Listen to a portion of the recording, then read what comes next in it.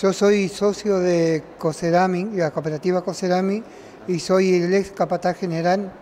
Estamos aquí reunidos con el director de, trabajo, eh, buscándole la vuelta, eh, porque nosotros hicimos un, acuerdo con el señor Acevedo Díaz, donde él se comprometía a traer una fábrica de Salta e instalarla para 49 familias. Eh, lo cual nosotros nos fuimos viendo que él, por orden de él, fue desarmando la fábrica Coserami, lo cual yo me interesé y fui, quise hablar con él, no me atendió, y estamos de hace una semana atrás viendo la posibilidad porque nos han entregado un papel donde dice que nosotros vendimos a Premier Sociedad Anónima, empresa que es del señor Acevedo Díaz lo cual yo desmiento totalmente.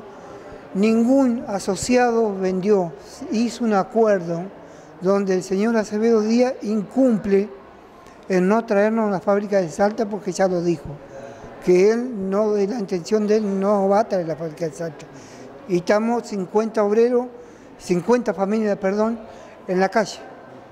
¿Cuál es el planteo aquí en trabajo puntualmente? ¿Qué es lo que piden ustedes? Estamos pidiendo una asesoría para que, como dijo la doctora Elena en su momento y dijo el señor Acevedo, que si alguna de las partes no incumpliera en algunos puntos, el, acuerdo se caería.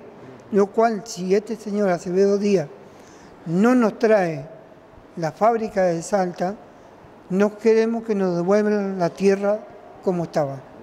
Se mencionó por ahí también la posibilidad de un barrio privado. Sí, él tiene la intención de hacer un barrio privado. Digamos, él tiene socio inmobiliario donde va a ser un barrio privado. ¿Ustedes se oponen a esto?